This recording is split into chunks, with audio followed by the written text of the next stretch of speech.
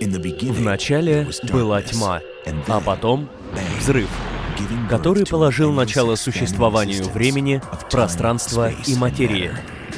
Сейчас мы заглянем дальше, чем мы себе представляли, за пределы нашего существования, в место, которое называется Вселенная. Солнечный ветер, космические лучи и ультрафиолетовая радиация. На нас каждый день воздействуют космические силы, о которых мы даже не догадываемся.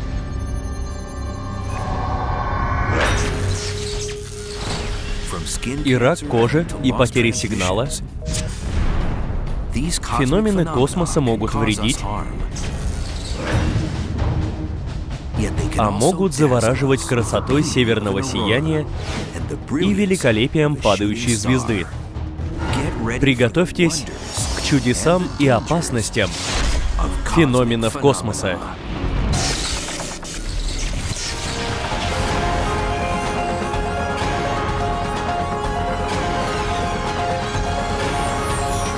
Вселенная. Феномены космоса.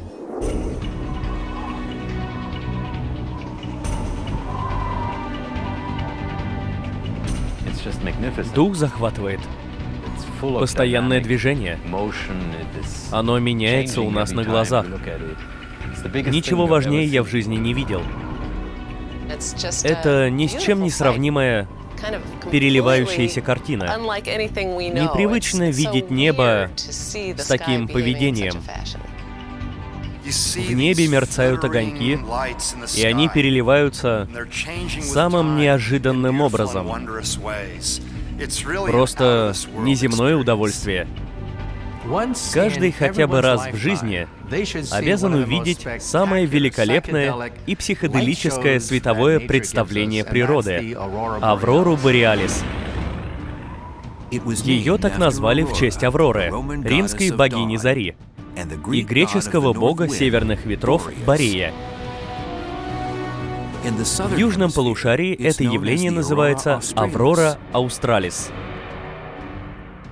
Прежде чем вскружить голову астрономам, они завораживали тех, кто видел их в полярных регионах. Древние скандинавы объясняли это явление не менее сказочно.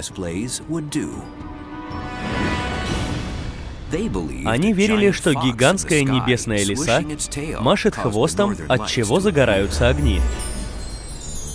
Неплохая теория. Она недалеко ушла от истины. Аврора — это электрическое явление, а когда лиса машет хвостом, возникает статическое электричество, что вызывает искры и некое сияние. Если хотите понять, что такое сияние, начинайте с Солнца. Солнце. Источник не только света, но и энергии в больших количествах. Оно излучает плотный поток заряженных частиц или солнечный ветер. Иногда они усиливаются корональными выбросами массы.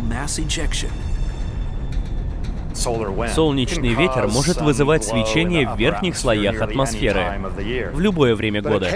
Но иногда на Солнце случаются мощнейшие вспышки или же корональные выбросы массы.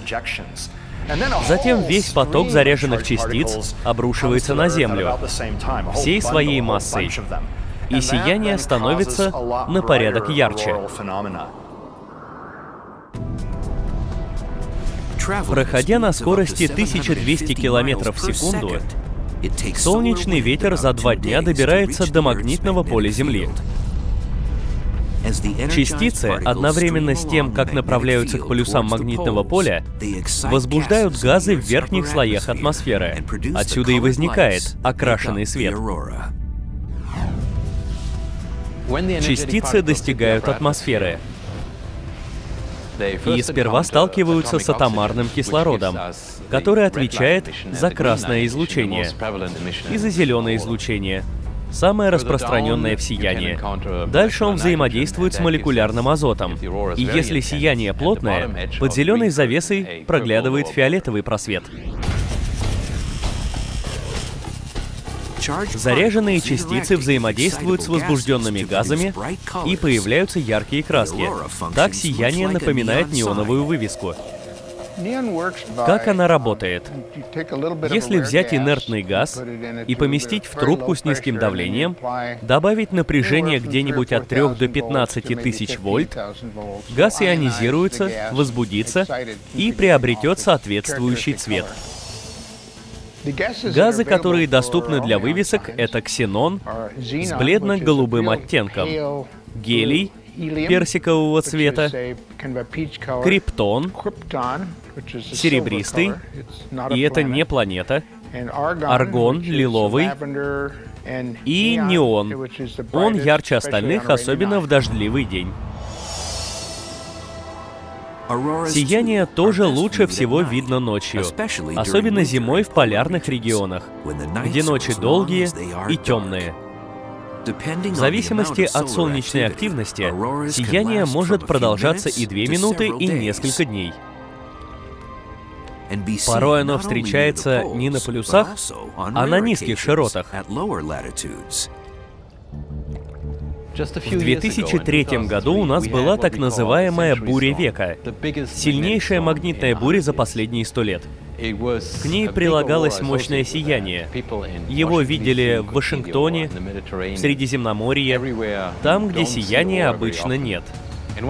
Самая сильная известная буря случилась в XIX веке. Возникшее сияние видели на Гавайях и по всей южной части Тихого океана. Это самое яркое зафиксированное сияние. Авроры можно встретить и не на Земле. Солнечный ветер дует по всем направлениям, уходя дальше планет. Магнитные поля Юпитера и Сатурна намного больше нашего, из-за чего сияние светит ярче и сильнее. Но независимо от того, где их видели, как долго или насколько они плотные, Внешний вид сияния напоминает изгибающийся занавес, который непрерывно колеблется. Съемка таймлэпс ускоряет эффект. Эти характерные черты придают сиянию красоты и загадочности. Формы завесы Авроры и ее движения, лучи, дуги, волны, спирали и так далее. Это все активно изучается. Мы еще не все понимаем.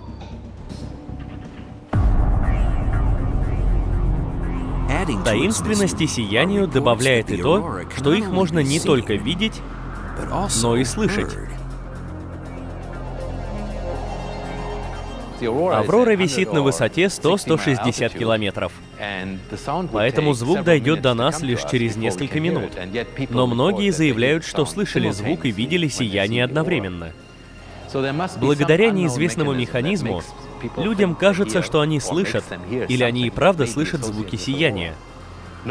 Объяснения эффекту нет, и ученые уже ищут ответ на этот вопрос.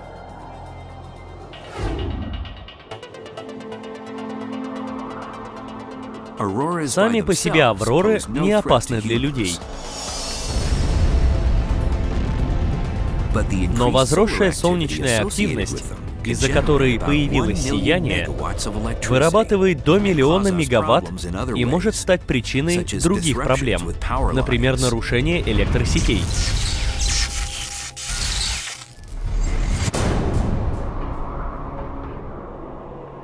Проблемы с проводами не от Аврор,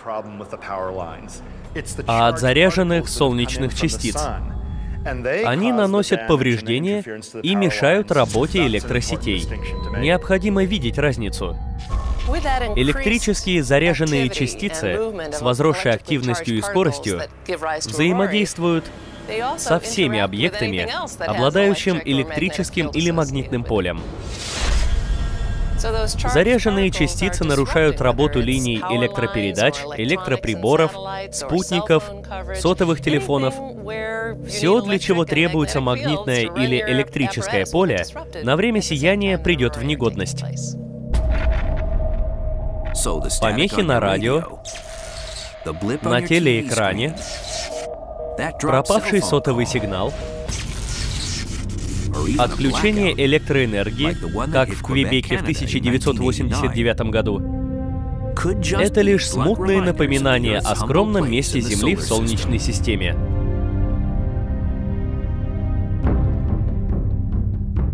Земля — это обычная планета, а у Солнца есть атмосфера, и ее границы простираются далеко за пределы Земли. Земля попадает в атмосферу Солнца.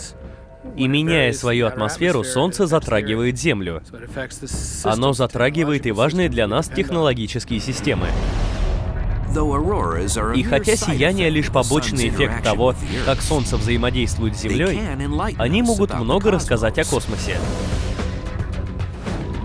Сияние — это показатель того, как верхние слои атмосферы и магнитное поле Земли взаимодействуют с солнечным ветром.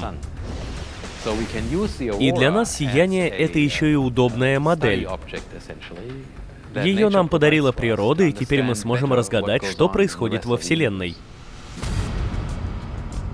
Сияние — одно из мерил солнечной активности. За все время наблюдений, в X-VIII веке или даже раньше, солнечную активность только и определяли по аврорам. Цикл активности Солнца 22 года. Каждые 11 лет оно становится активнее, меняет полярность и возвращается. Это прослеживается в истории наблюдений, а авроры — лучшие индикаторы этого явления. Пока в полярных регионах мерцают сияния, другие головокружительные чудеса космоса встречаются повсеместно. И это падающие звезды. Падающие звезды на первый взгляд летят прямиком к Земле. Но это не так. Звезды намного больше нашей планеты. Упавшая звезда поглотит Землю за доли секунды. Так что это, если не звезды? Это небольшие камни, песчинки из космоса. Они проникают в нашу атмосферу, сталкиваются с ее атомами и молекулами, от чего они светятся. Это вовсе не звезда, даже близко не звезда. Эти светящиеся камешки более известны как метеоры. Большая их часть сгорает в атмосфере. Но если метеор крупный, он может пролететь атмосферу и врезаться в Землю.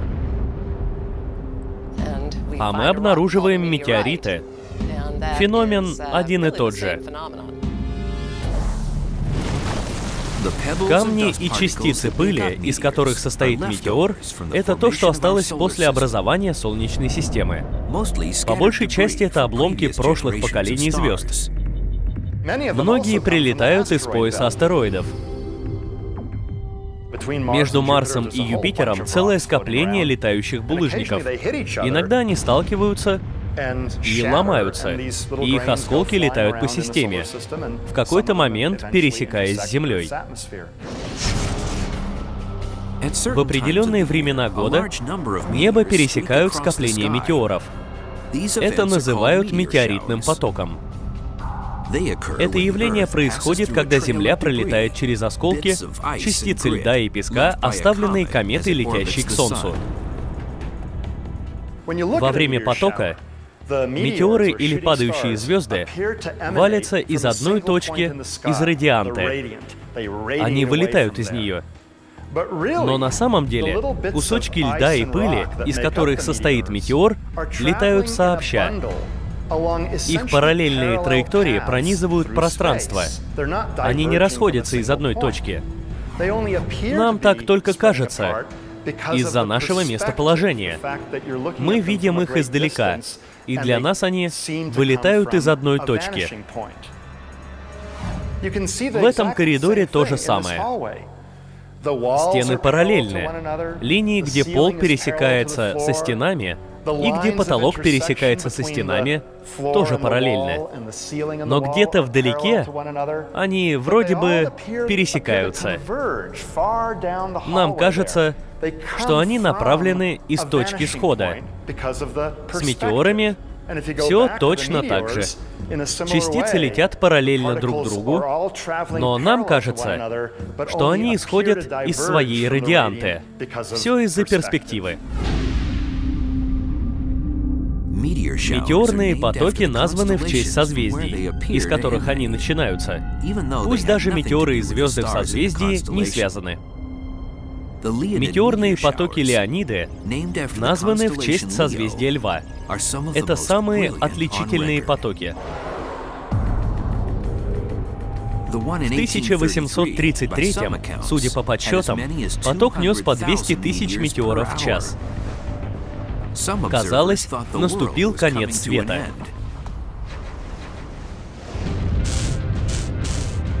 Но это было лишь начало. Сейчас обнаружены феномены космоса более запутанные, чем метеорные потоки. Они излучают великолепные краски со скоростью молнии. Моргнешь и пропустишь. Но мы их увидели.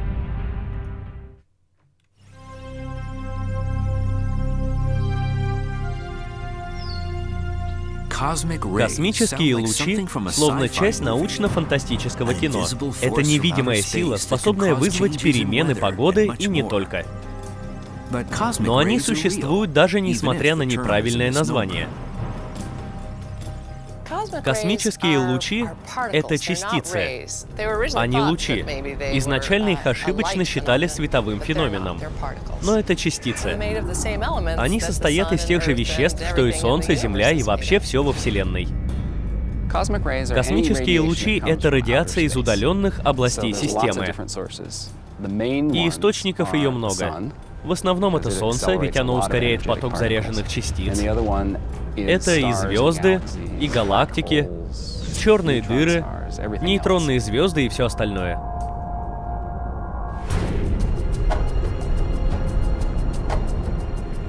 Большинство космических лучей не слишком активные. Но самые энергичные лучи можно сравнить с тем, как теннисный мяч врезается вам в голову. Это неприятное ощущение. Большую часть можно сравнить с выстреленной горошинкой, а может и с чем-то слабее. Атмосфера Земли защищает нас от космических лучей. Но те высокоэнергичные частицы, что пробились сквозь атмосферу, способны повлиять на все живые организмы. Они могут вызвать мутацию ДНК. Это одно из канонических объяснений тому, почему существует генетический дрейф. Под воздействием космических лучей ДНК меняется, что приводит к мутациям в рамках одного вида. Иногда эти мутации полезны с эволюционной точки зрения.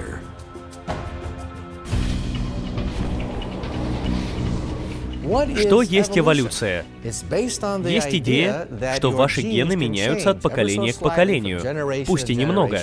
Тем самым вы приспосабливаетесь к изменениям на Земле. Поскольку на нас постоянно обрушивается космическая радиация, наши гены меняются ежедневно от столкновения с субатомными частицами. А значит, мы приспособимся к изменившейся обстановке. И космические лучи дарят нам шанс, а он меняет строение нашего ДНК. Но мутации от космических лучей могут вызывать рак. Радует хоть то, что космические лучи ежесекундно проходят сквозь нас. Они очень малы, и вероятность того, что они попадут в нужную часть ДНК и сделают клетку раковой, весьма и весьма невелика. Но если же вы астронавт и постоянно сталкиваетесь с радиацией, а защиты мало, то радиация становится намного опаснее.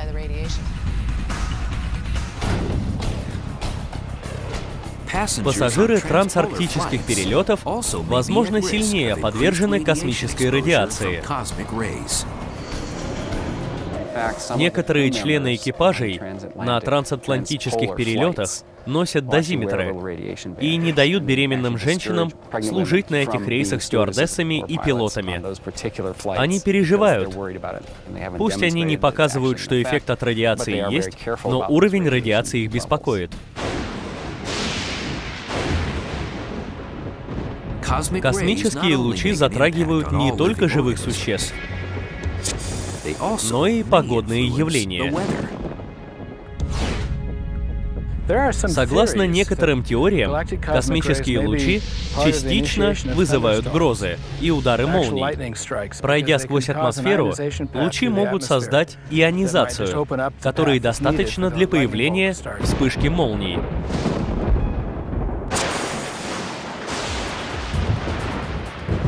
Во время грозы часто сверкают молнии. Но хоть эти вспышки ужасные и опасны, они лишь малая часть феномена в верхних слоях атмосферы под названием кратковременные световые явления. Мы подтвердили их существование благодаря скоростным камерам. Один из видов разрядов называется спрайт. Это размытая вспышка света, которая возникает на высоте 72 километра и длится всего несколько миллисекунд. Спрайты — это любопытные громовые разряды, которые могут либо подняться на высоту до 100 километров, и при этом опускаться на высоту 50 километров. Два электрических потока, идущие вверх и вниз, красно-оранжевого цвета. И все из-за возбуждения нейтральных молекул азота.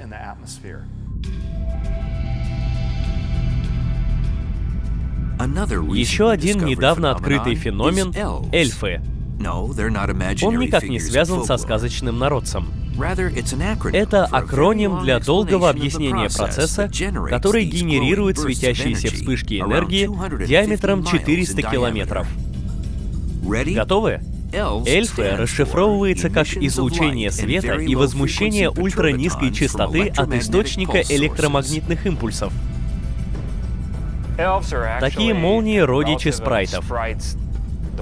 Но эльфы, в отличие от спрайтов, исчезают в еще более короткий срок. Их можно заснять только при помощи сложной камеры. И совершенно случайно. Эльфы не видны невооруженным глазом из-за своей кратковременности.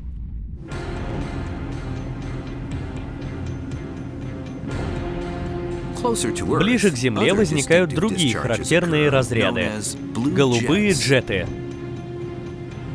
Они возникают как раз над вершинами грозовых облаков, на высоте где-то 16 километров, и поднимаются до высоты 50 километров над поверхностью Земли. Это синяя конусообразная струя света. Синий окрас ей придают нейтральные и ионизированные молекулы азота, которых возбудил электрический ток. Поскольку открыты эти феномены недавно, голубые джеты, эльфы и спрайты еще не изучены. Их влияние на атмосферу до сих пор остается предметом обсуждений. Выдвигают теории, что эти разряды помогают сбалансировать электромагнитные силы Земли, и что эльфы помогают вырабатывать озон. Простая теория, что природа пытается сбалансировать себя, и в конечном итоге это лишь идет на пользу живым организмам. Феномены космоса затрагивают не только погоду, но также флору и фауну. Из их отношений с Солнцем наша жизнь погрузилась бы в хаос.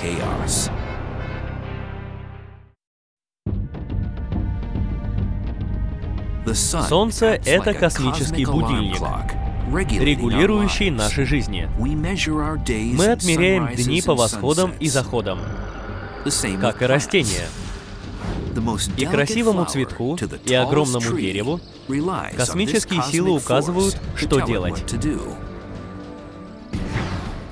Очень хороший пример — это цветение. Есть растения короткого и длинного дня. Растения длинного дня чувствуют, как весной удлиняется световой день.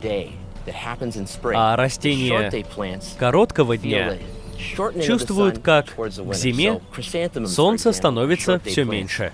Хризантемы, к примеру, растения короткого дня. Они цветут осенью. Петунья и календула — растения длинного дня. Они цветут, когда световой день удлиняется. При помощи различных механизмов и веществ растения понимают, как долго светит солнце. Но роль Солнца в жизни растений на этом не заканчивается. Оно также запускает процесс под названием фотосинтез. Без космической помощи растения погибли бы, а с ними и мы.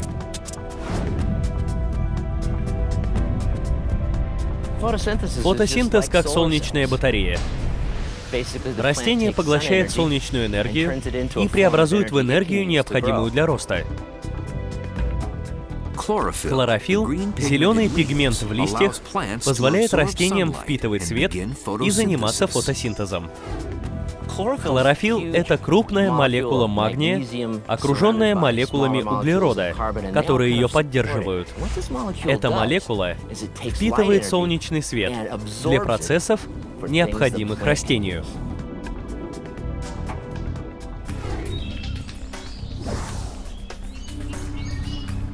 Фотосинтез запускает сложный процесс, в котором растения из углекислого газа и воды вырабатывают сахар, из которого создают крахмал, жиры и белки, нашу пищу. В то же время растения выделяют кислород. Если бы фотосинтеза не было, мы бы погибли. В этом вся суть. Даже животные, они тоже ждут, что Солнце даст им пропитание, будет ими управлять и, возможно, подскажет, как ориентироваться.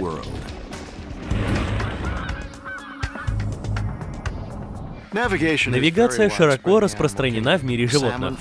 Лосось ищет путь в то русло, где он вылупился. Мигрируют олени.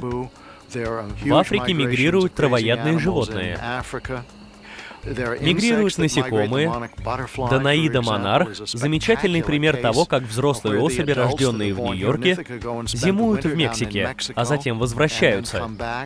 Но ни в одном из примеров мы не способны до конца понять, благодаря каким сигналам происходят такие путешествия.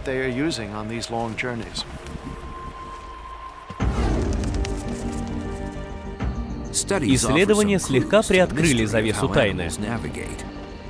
По Солнцу многие виды определяют направление. Это не очень просто. Чтобы так использовать Солнце, нужны часы. Нужно знать, утро сейчас, день или вечер, из-за видимого движения Солнца.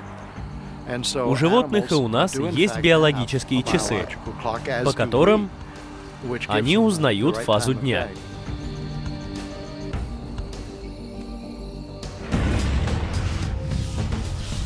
Если Солнце скрыто, некоторые животные обращаются к магнитному полю Земли. Эта сила распространяется из жидкого ядра планеты. Магнитное поле не только дает направление, но и подсказки о местоположении. У каждого места на планете свой магнитный след. Если у животного развита чувствительность, оно способно определить, где находится относительно дома по различиям в магнитном поле. Но проблема заключается в том, что магнитное поле Земли постоянно меняется. Между ночью и днем залежи железа под поверхностью Земли, названные магнитными аномалиями, искажает поле. Изменения в нем могут вызывать и солнечные пятна. В общем, поле довольно непостоянно. Но многие животные как-то рассчитывают свой маршрут.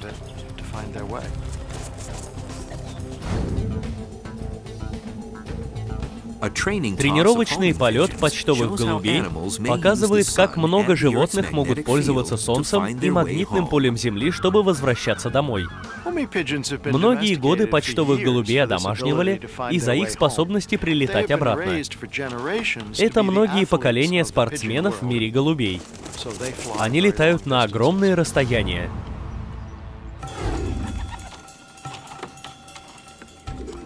Чтобы выпустить птицу в полет, нужно отправиться в голубятник и выбрать особей, которые сегодня полетят. Я хочу убедиться, что все голуби в надежном физическом состоянии, что их перья в хорошем состоянии, что они хотят летать. Я выбираю голубей, помещаю в специальную корзину, а точнее в коробку, в которой голубей перевозят до того места, где их выпустят. Следующий шаг, собственно, полет. Мы оказываемся в поле, деревьев нет, открытая местность, и теперь выпускаем голубей.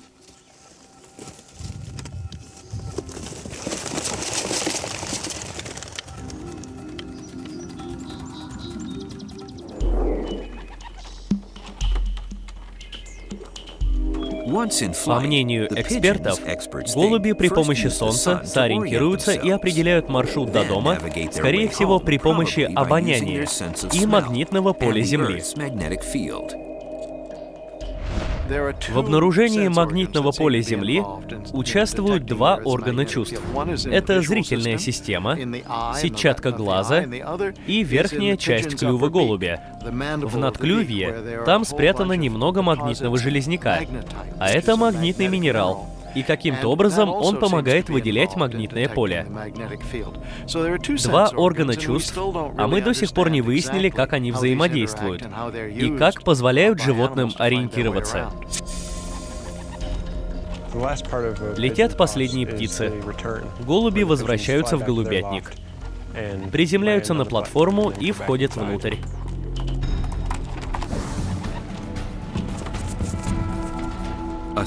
Этот полет показывает, но не объясняет, как космос помогает в навигации. Это запутанная тайна, которую, возможно, нам не дано разгадать. И то, что животные определяют местоположение по-разному, только усложняет задачу. И только ты, как обычно, мешаешь им пользоваться Солнцем, эти подлецы переключаются на магнитное поле. Из-за того, что у них на вооружении есть разные методы, как и у нас, для определения местоположения. Очень трудно раскрыть их секрет экспериментально. Есть и другая космическая сила, которая таинственным образом влияет на Землю. Она притаилась в солнечном свете, но от нее нельзя спрятаться. Если ее игнорируешь, получишь ожог, как минимум.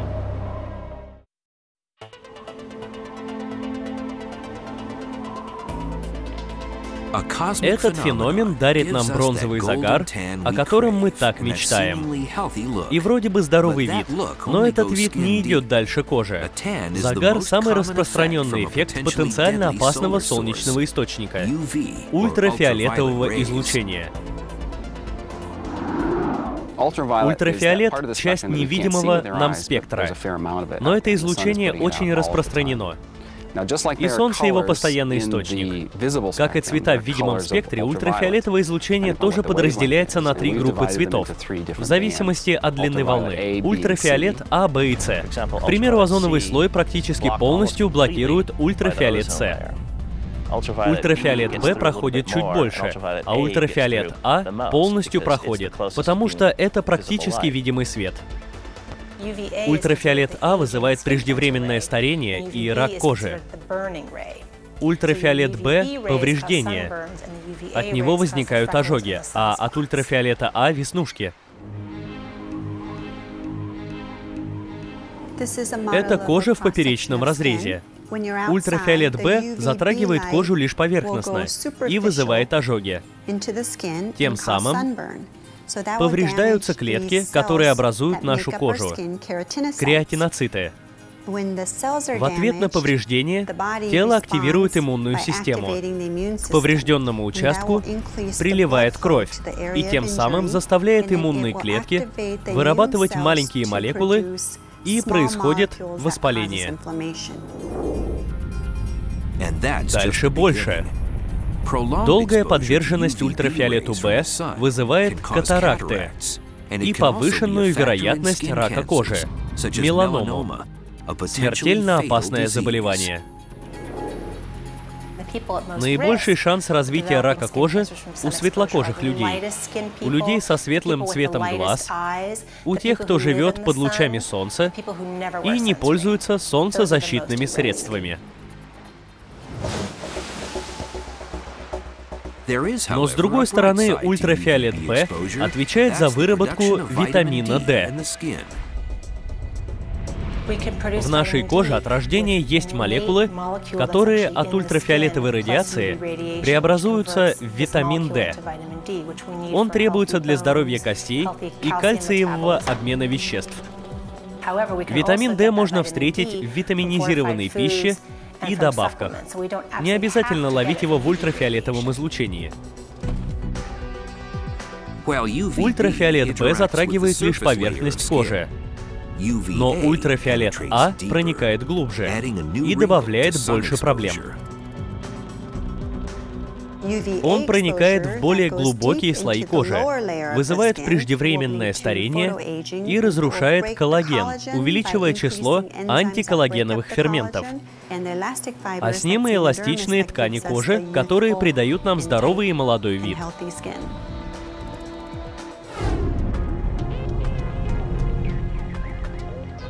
Солярии искусственно воспроизводят солнечный свет. Но находиться под искусственными лучами хуже, чем за 150 миллионов километров от настоящего Солнца. Производители соляриев убеждают нас, что это безопасно, и что загар безопаснее и ложится ровнее. Но это неправда. Наоборот, солярий намного опаснее для кожи. Свет лампочек на 90% состоит из ультрафиолета А, а он вызывает преждевременное старение и рак кожи. Так что у вас через 20-30 лет разовьется рак. Общеизвестный факт, после солярия вероятность возникновения рака выше.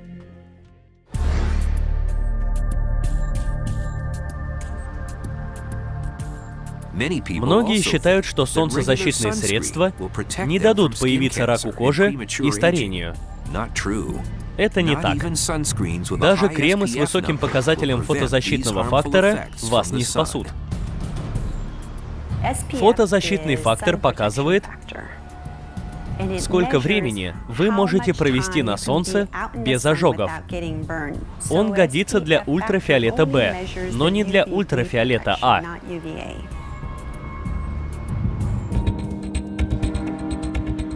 Самые эффективные солнцезащитные кремы обеспечивают защиту от обоих типов излучения. Но даже постоянно нанося крем, вы можете обзавестись раком кожи. Ведь сейчас озоновый слой истощается.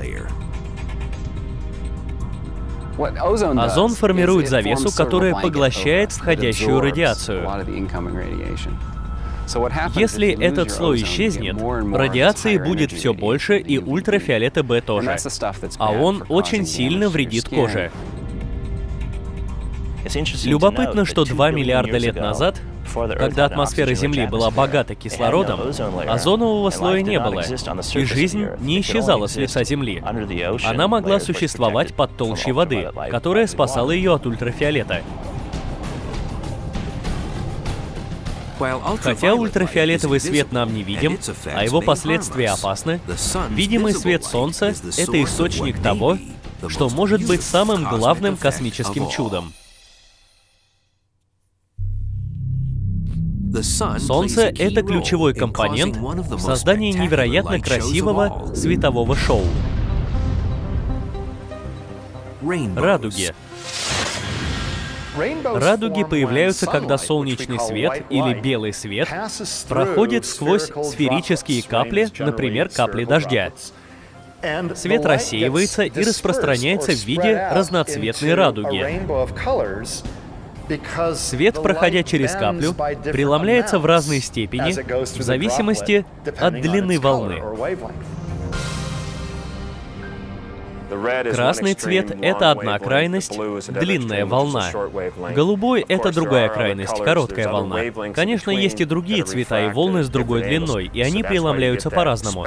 Поэтому вы видите весь оптический спектр. Вариации в длине волны между короткой и длинной волнами непрерывны. Неплохую аналогию радуги можно сотворить при помощи призмы. Есть Солнце, источник света, и вместо капли берем призму. Волны разной длины преломляются по-разному. Они преломлены дважды, по разу с каждой стороны. И вот перед вами радуга. Все цвета от красного до синего. Волны разной длины преломляются под разными углами, и это объясняет, почему цвета радуги появляются в таком порядке и в форме дуги. Подавляющее большинство лучей преломляются в определенном направлении. И вот лучи кучкуются наверху. Есть определенный угол, где лучей больше, чем под другими углами, потому что в зависимости от угла падения солнечного света больше лучей собирается именно в данном направлении. И это угол в 42 градуса от антисолярной точки. Так по-астрономичному названа тень вашей головы. Под этим углом свет наиболее силен. Тут-то и возникает радуга. Но 42 градуса от тени вашей головы и 42 градуса от тени чужой головы различаются. Это значит, что два человека не увидят одинаковую радугу. Если вам повезет, и вы встанете под нужным углом, вы увидите вторичную радугу. В капле дождя, преломляясь, свет отражается не один раз. Второй раз он отражается под другим, более крупным углом под углом 51 градус. И она будет темнее, ведь большая часть света после первого отражения уходит. Но часть отражается еще раз. Что интересно, вторая радуга расположена в определенном порядке, то есть в первой радуге красный цвет с одной стороны, а во второй с другой. Но в любом случае радуга не появляется всегда в определенном месте. Все зависит от местоположения наблюдателя и от расположения Солнца. В таком свете радуга больше похожа на оптическую иллюзию. Можно сказать, что это и так. До радуги нельзя дойти и дотронуться. Она всегда находится вдалеке, потому что Радуга — это просто лучи света, которые мы видим под определенным углом. Пока между нами и источником света будут капли, будет и радуга.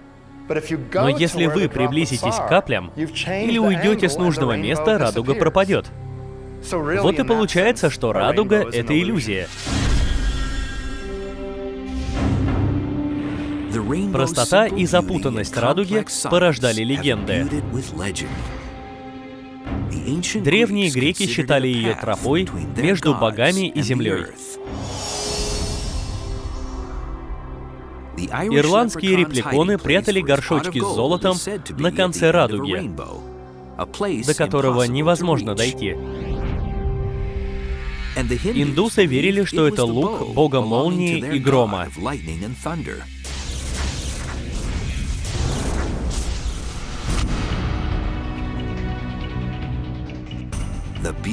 Красота радуги, сложность фотосинтеза, влияние ультрафиолетовых лучей,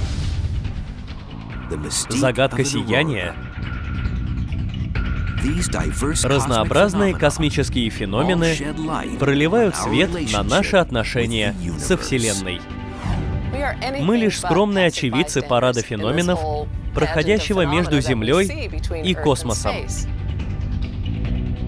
Жизнь на Земле развивалась в окружении космических лучей, аврор, молний и множество видимых нам явлений. Это часть обстановки, в которой мы развивались. Они часть нас, а мы часть их.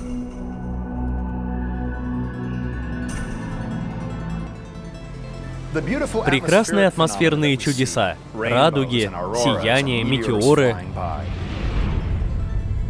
а также, возможно, опасные явления, например, ультрафиолетовая радиация. Доказывают, что Земля не просто шар, летающий отдельно от Вселенной. Нет, мы часть Вселенной. что только добавляет Земле прелести. Озвучено по заказу hdclub.org.